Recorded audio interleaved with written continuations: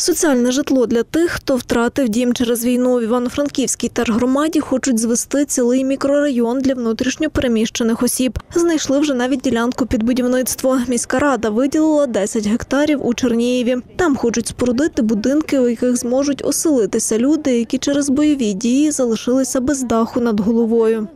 Е, Ми бачимо, що це буде п'ятиповерхові будівлі, тобто, тобто так, такого європейського типу, для того, щоб це було соціальне житло і воно надавалося внутрішньопереміщеним переміщеним особам. Ну, Ми розуміємо, що там має бути соціальна якась складова, можливо, дитячий садочок, можливо, якась, е, скажімо, соціальна інфраструктура, можливо, навіть якісь офісні приміщення, де можуть працювати люди внутрішньопереміщені.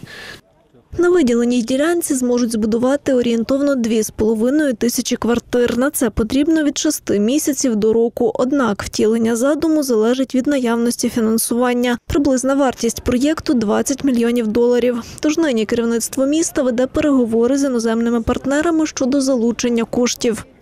Якщо це будуть міжнародні кошти, це буде власність територіальної громади міської, а буде надаватися як соціальне житло. Тобто, що людина е, там проживає, але ця квартира ну, якби залишається у власності громад. Якщо це буде, е, ну скажімо, по тому типу, що частина цих коштів буде, ну якби міжнародна частина це буде залучені інвестори, то е, тоді буде частина житла, буде та як соціальна, частина житла, як люди просто собі придбають.